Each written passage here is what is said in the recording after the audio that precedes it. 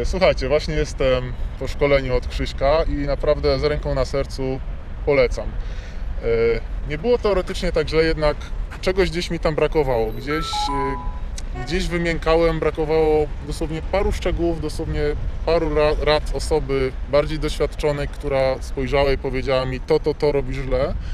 I efekty były no, żeby nie skłamać, po pierwszej godzinie wspólnego chodzenia po mieście naprawdę czułem efekty. Spędziliśmy razem trzy dni i jest naprawdę zajebiście, zrobiłem progres, myślę o dwa, jak nie trzy levele do góry.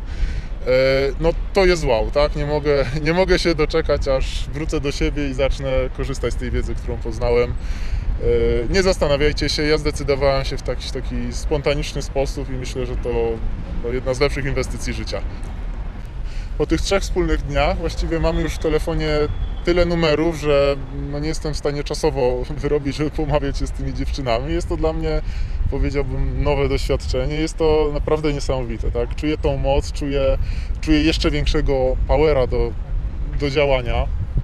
Jestem naprawdę nakręcony i to, no to daje efekty, tak? To daje realne efekty. Zero bullshitu, zero pieprzenia, po prostu yy, tak wchodzi, zaczęło wchodzić. Yy, Nie ma strachu przed podejściem.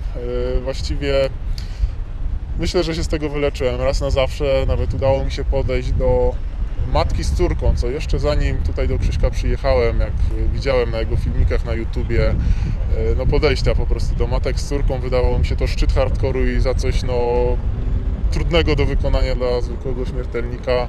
Teraz to zrobiłem i była to absolutnie normalna sprawa, więc no, efekt jest niesamowity.